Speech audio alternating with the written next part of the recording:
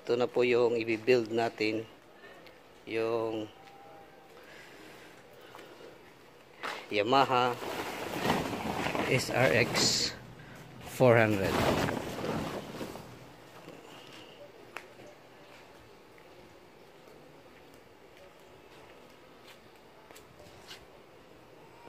yan na po guys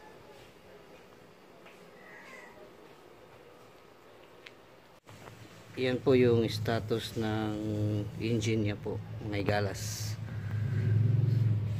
At ngayon po mga igalas itatry natin kung aandar siya. Kasi pagkuha namin dito hinila lang to. Kasi naka-standby daw to ng mga 1 month. So try natin okay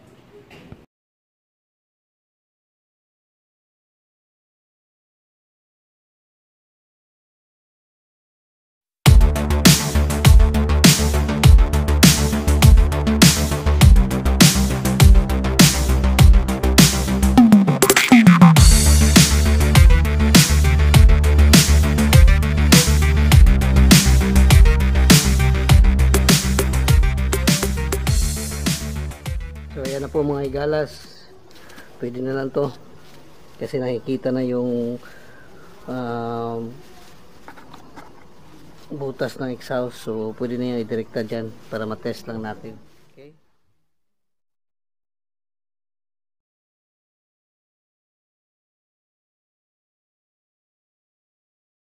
Guys, try natin ulit.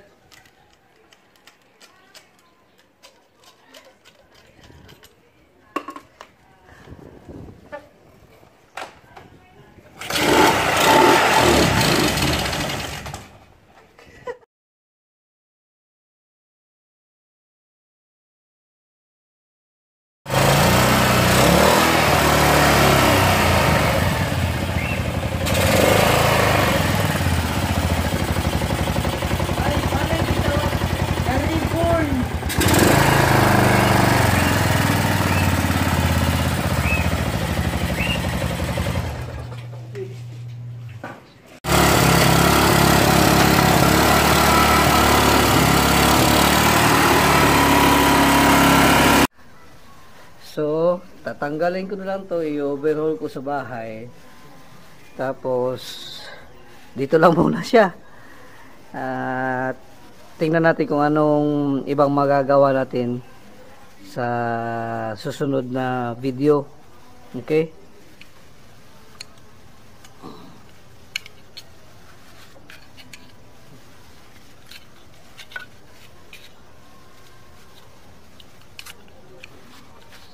Ito mga higalas tatanggalin natin yung carbs para i-overhaul natin. Linisin natin ng todo kasi kanina na-try na natin na gumana na yung motor. May ano na nakapag-start na siya pero madalian lang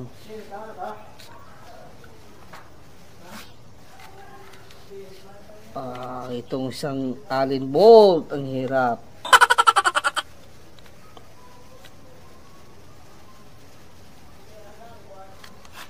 Tanggalin ko muna to.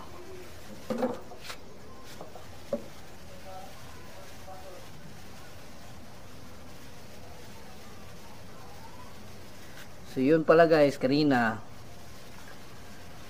nag-change ako ng bago pa ako dumating dito hindi to gumagana hindi to umaandar. So nag-change ako ng tines ko yung ignition uh, spark meron naman pero binaguhan ko ng spark plug. Pagkatapos noon dinirektahan ko ng spray dito ng fuel fortunately may nag-start siya. Pero saglit lang. So ngayon at least alam na natin na gumagana yung motor. So, so paglilinis na lang to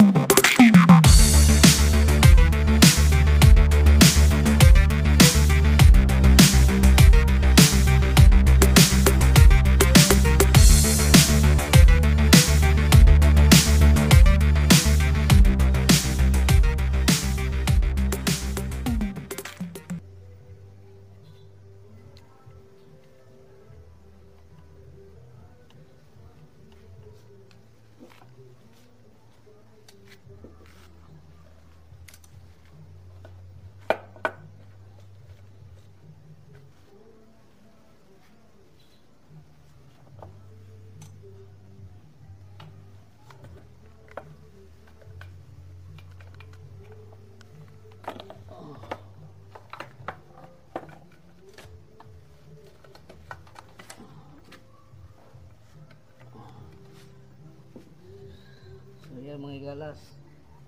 Oh, mukhang linisin talaga to.